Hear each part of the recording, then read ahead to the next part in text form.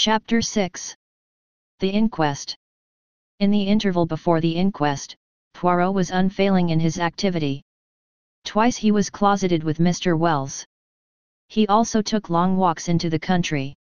I rather resented his not taking me into his confidence, the more so as I could not in the least guess what he was driving at. It occurred to me that he might have been making inquiries at Raikes's farm, so, finding him out when I called at Leastways Cottage on Wednesday evening, I walked over there by the fields, hoping to meet him. But there was no sign of him, and I hesitated to go right up to the farm itself. As I walked away, I met an aged rustic, who leered at me cunningly. You am from the hall, Bain to you, he asked. Yes. I'm looking for a friend of mine whom I thought might have walked this way. A little chap? As waves his hands when he talks? One of them Belgies from the village. Yes, I said eagerly. He has been here, then. Oh, I, he's been here, right enough. Than once too. Friend of yours, is he? Ah, you gentlemen from the hall you and a pretty lot. And he leered more jocosely than ever. Why, do the gentlemen from the hall come here often? I asked, as carelessly as I could. He winked at me knowingly. One does, mister. Naming no names, mind. And a very liberal gentleman too. Oh, thank you, sir, I'm sure. I walked on sharply. Evelyn Howard had been right then, and I experienced a sharp twinge of disgust, as I thought of Alfred Inglethorpe's liberality with another woman's money. Had that piquant gypsy face been at the bottom of the crime, or was it the baser mainspring of money? Probably a judicious mixture of both. On one point, Poirot seemed to have a curious obsession.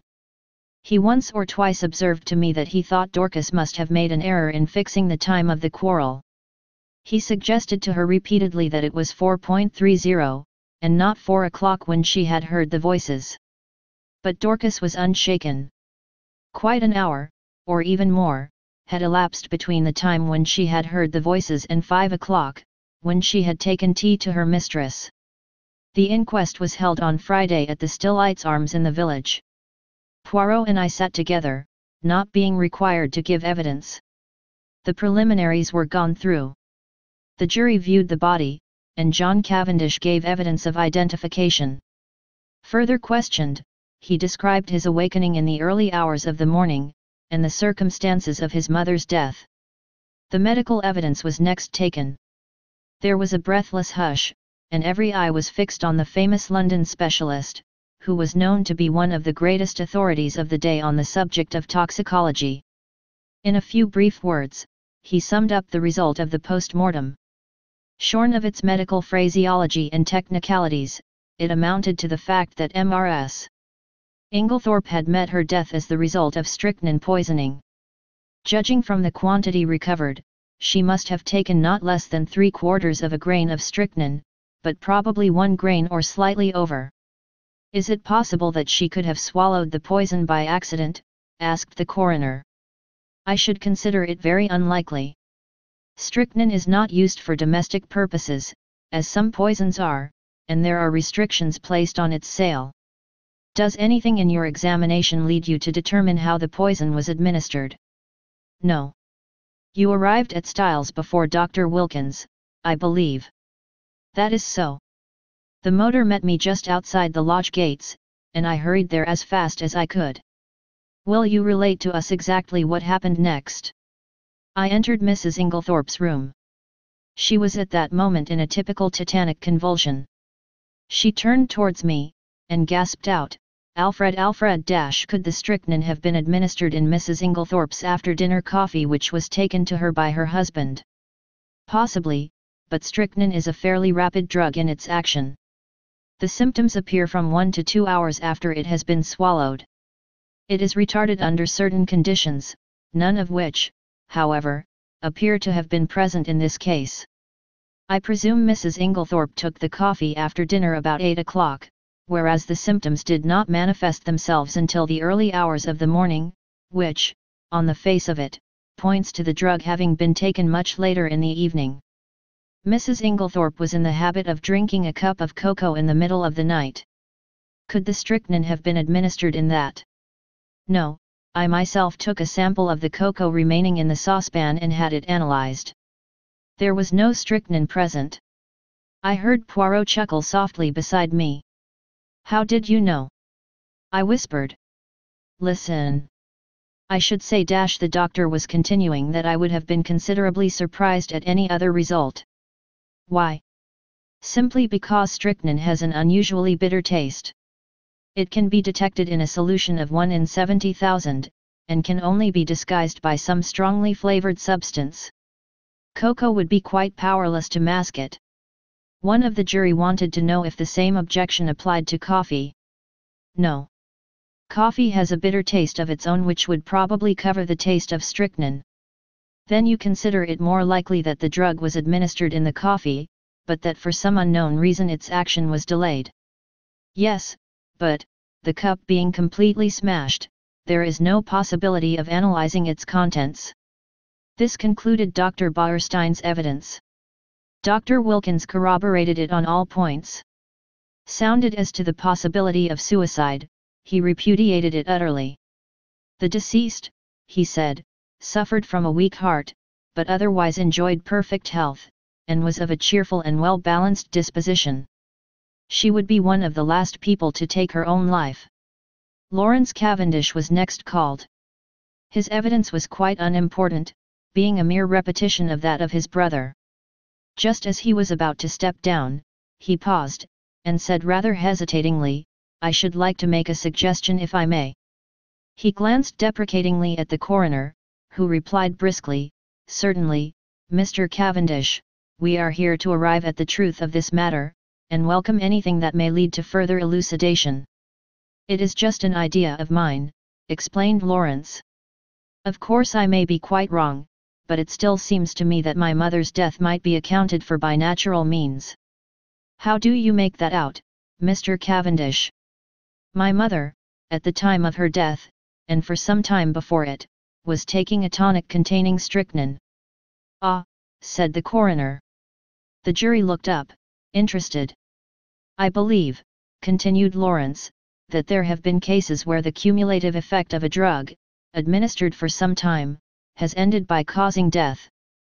Also, is it not possible that she may have taken an overdose of her medicine by accident?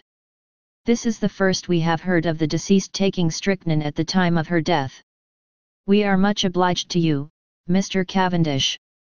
Dr. Wilkins was recalled and ridiculed the idea. What Mr. Cavendish suggests is quite impossible. Any doctor would tell you the same. Strychnine is, in a certain sense, a cumulative poison, but it would be quite impossible for it to result in sudden death in this way. There would have to be a long period of chronic symptoms which would at once have attracted my attention. The whole thing is absurd. And the second suggestion? That Mrs. Inglethorpe may have inadvertently taken an overdose. Three, or even four doses, would not have resulted in death. MRS. Inglethorpe always had an extra large amount of medicine made up at a time, as she dealt with Coot's, the cash chemists in Tadminster. She would have had to take very nearly the whole bottle to account for the amount of strychnine found at the post-mortem then you consider that we may dismiss the tonic as not being in any way instrumental in causing her death. Certainly.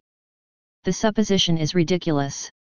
The same juryman who had interrupted before here suggested that the chemist who made up the medicine might have committed an error. That, of course, is always possible, replied the doctor.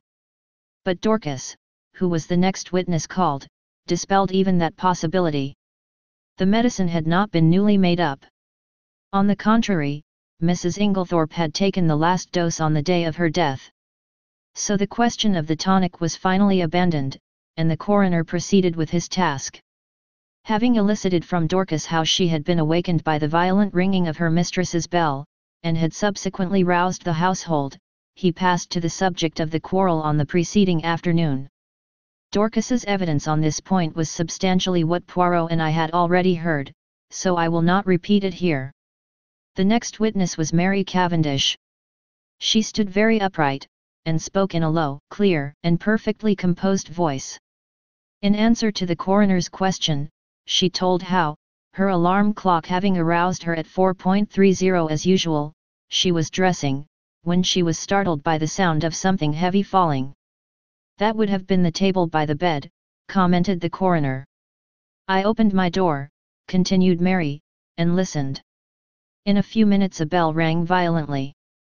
Dorcas came running down and woke my husband, and we all went to my mother-in-law's room, but it was locked the coroner interrupted her. I really do not think we need trouble you further on that point. We know all that can be known of the subsequent happenings. But I should be obliged if you would tell us all you overheard of the quarrel the day before. I. There was a faint insolence in her voice. She raised her hand and adjusted the ruffle of lace at her neck, turning her head a little as she did so. And quite spontaneously the thought flashed across my mind, she is gaining time. Yes. I understand, continued the coroner deliberately, that you were sitting reading on the bench just outside the long window of the boudoir. That is so, is it not? This was news to me and glancing sideways at Poirot, I fancied that it was news to him as well. There was the faintest pause, the mere hesitation of a moment, before she answered, Yes, that is so. And the boudoir window was open, was it not? Surely her face grew a little paler as she answered, Yes. Then you cannot have failed to hear the voices inside, especially as they were raised in anger. In fact, they would be more audible where you were than in the hall. Possibly. Will you repeat to us what you overheard of the quarrel? I really do not remember hearing anything. Do you mean to say you did not hear voices? Oh, yes, I heard the voices, but I did not hear what they said. A faint spot of color came into her cheek. I am not in the habit of listening to private conversations. The coroner persisted. And you remember nothing at all? Nothing, Mrs. Cavendish? Not one stray word or phrase to make you realize that it was a private conversation. She paused, and seemed to reflect, still outwardly as calm as ever. Yes, I remember. Mrs. Inglethorpe said something I do not remember exactly what about causing scandal between husband and wife. Ah, the coroner leant back satisfied. That corresponds with what Dorcas heard. But excuse me, Mrs. Cavendish, although you realized it was a private conversation, you did not move away? You remained where you were. I caught the momentary gleam of her tawny eyes as she raised them. I felt certain that at that moment she would willingly have torn the little lawyer, with his insinuations, into pieces, but she replied quietly enough, No I was very comfortable where I was. I fixed my mind on my book. And that is all you can tell us. That is all. The examination was over, though I doubted if the coroner was entirely satisfied with it. I think he suspected that Mary Cavendish could tell more if she chose. Amy Hill, shop assistant, was next called, and deposed to having sold a will form on the afternoon of the 17th to William Earl, under gardener at Styles. William Earl and Manning succeeded her, and testified to witnessing a document. Manning fixed the time at about 4.30, William was of the opinion that it was rather earlier. Cynthia Murdoch came next. She had, however, little to tell. She had known nothing of the tragedy, until awakened by Mrs. Cavendish. You did not hear the table fall. No I was fast asleep. The coroner smiled. A good conscience makes a sound sleeper, he observed. Thank you, Miss Murdoch, that is all. Miss Howard. Miss Howard produced the letter written to her by Mrs. Inglethorpe on the evening of the 17th Poirot and I had, of course already seen it. It added nothing to our knowledge of the tragedy. The following is a facsimile, Styles Court Essex handwritten note, July 17 My dear Evelyn can we not bury the hatchet? I have found it hard to forgive the things you said against my dear husband but I am an old woman and very fond of you yours affectionately, Emily Inglethorpe it was handed to the jury who scrutinized it attentively. I fear it does not help us much, said the coroner, with a sigh. There is no mention of any of the events of that afternoon. Plain as a pikestaff to me, said Miss Howard shortly. It shows clearly enough that my poor old friend had just found out she'd been made a fool of. It says nothing of the kind in the letter, the coroner pointed out. No, because Emily never could bear to put herself in the wrong. But I know her. She wanted me back. But she wasn't going to own that I'd been right. She went round about. Most people do. Don't believe in it myself. Mr. Wells smiled faintly. So, I noticed, did several of the jury. Miss Howard was obviously quite a public character. Anyway, all this tomfoolery is a great waste of time, continued the lady, glancing up and down the jury disparagingly. Talk talk talk. When all the time we know perfectly well the coroner interrupted her in an agony of apprehension, Thank you, Miss Howard, that is all. I fancy he breathed a sigh of relief when she complied. Then came the sensation of the day. The coroner called Albert Mace, chemist's assistant. It was our agitated young man of the pale face. In answer to the coroner's questions, he explained that he was a qualified pharmacist, but had only recently come to this particular shop, as the assistant formerly there had just been called up for the army. These preliminaries completed, the coroner proceeded to business. Mr. Mace, have you lately sold strychnine to any unauthorized person? Yes, sir. When was this? Last Monday night. Monday? Not Tuesday. No, sir, Monday, the 16th. Will you tell us to whom you sold it? You could have heard a pin drop. Yes, sir. It was to Mr. Inglethorpe. Every eye turned simultaneously to where Alfred Inglethorpe was sitting, impassive and wooden. He started slightly, as the damning words fell from the young man's lips. I half thought he was going to rise from his chair, but he remained seated, although a remarkably well-acted expression of astonishment rose on his face. You are sure of what you say? asked the coroner sternly. Quite sure, sir. Are you in the habit of selling strychnine indiscriminately over the counter? The wretched young man wilted visibly under the coroner's frown. Oh, no, sir of course not. But, seeing it was Mr. Inglethorpe of the Hall, I thought there was no harm in it. He said it was to poison a dog. Inwardly I sympathized. It was only human nature to endeavour to please the hall dash especially when it might result in custom being transferred from Coot's to the local establishment. Is it not customary for anyone purchasing poison to sign a book? Yes, sir, Mr. Inglethorpe did so. Have you got the book here? Yes, sir. It was produced, and, with a few words of stern censure, the coroner dismissed the wretched Mr. Mace. Then, amidst a breathless silence, Alfred Inglethorpe was called. Did he realize, I wondered, how closely the halter was being drawn around his neck? The coroner went straight to the point. On Monday evening last, did you purchase strychnine for the purpose of poisoning a dog? Inglethorpe replied with perfect calmness, No, I did not. There is no dog at Styles, except an outdoor sheepdog, which is in perfect health. You deny absolutely having purchased strychnine from Albert Mace on Monday last. I do. Do you also deny this? The coroner handed him the register in which his signature was inscribed. Certainly I do. The handwriting is quite different from mine. I will show you. He took an old envelope out of his pocket, and wrote his name on it, handing it to the jury. It was certainly utterly dissimilar.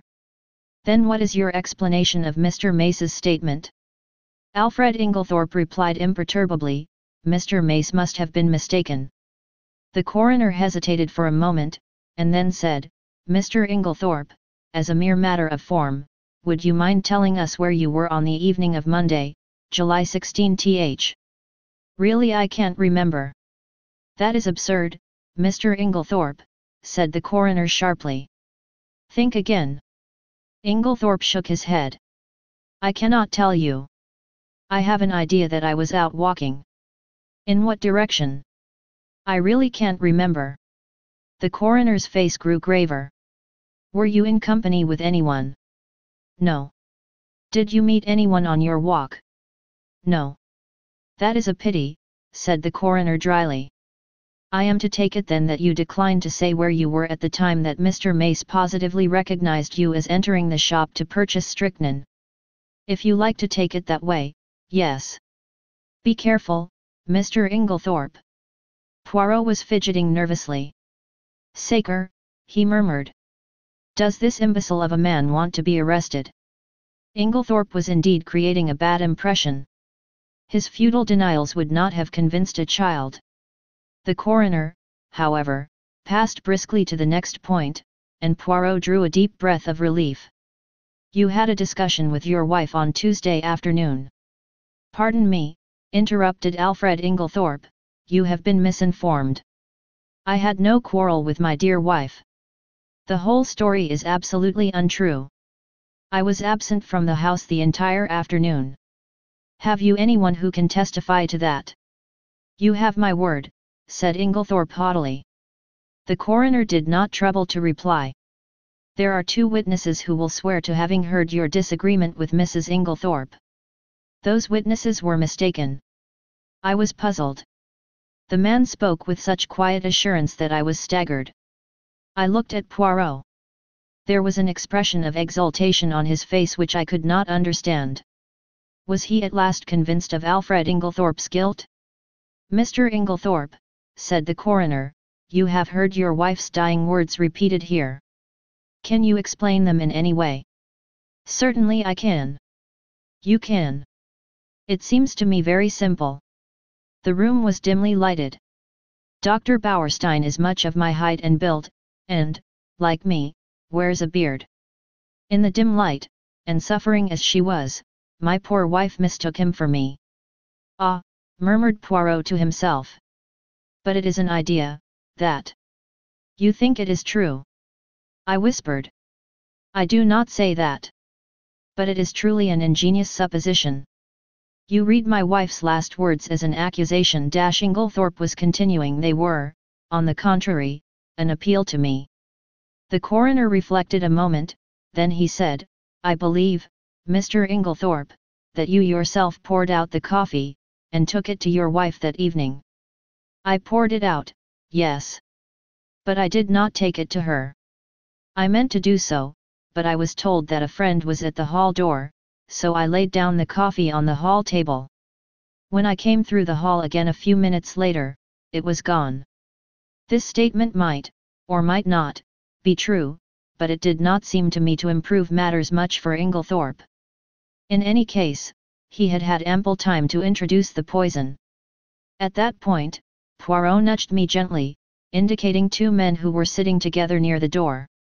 One was a little, sharp, dark, ferret-faced man, the other was tall and fair. I questioned Poirot mutely. He put his lips to my ear. Do you know who that little man is? I shook my head. That is Detective Inspector James Japp of Scotland Yard Jimmy Japp. The other man is from Scotland Yard too. Things are moving quickly, my friend. I stared at the two men intently. There was certainly nothing of the policeman about them. I should never have suspected them of being official personages. I was still staring, when I was startled and recalled by the verdict being given, willful murder against some person or persons unknown.